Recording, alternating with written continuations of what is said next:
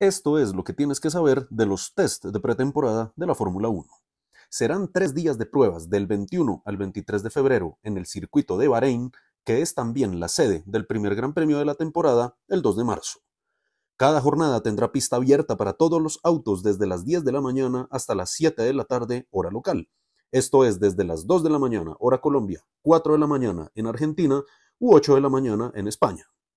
Se espera que cada equipo tenga un único auto en pista durante cada jornada, por lo que los pilotos pueden variar cada día e inclusive puede ser un piloto diferente en la mañana y en la tarde.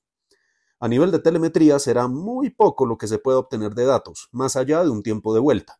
Los equipos suelen guardar mucha de esta información y en la transmisión no se podrá ver con el nivel de detalle que usualmente vemos en carrera.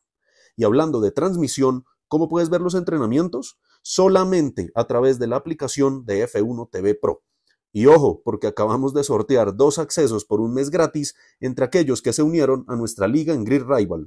En estas jornadas tendremos que acostumbrarnos a términos como Flowbiz, la cera que ponen en los autos para ver el flujo aerodinámico, sandbagging, deliberadamente mostrarse más lentos de lo que son en realidad, o aerorakes, las parrillas con sensores que vemos atadas a los costados de los autos. Cuéntanos en los comentarios lo que esperas de esta temporada y si te gustó el video, compártelo con tus amigos.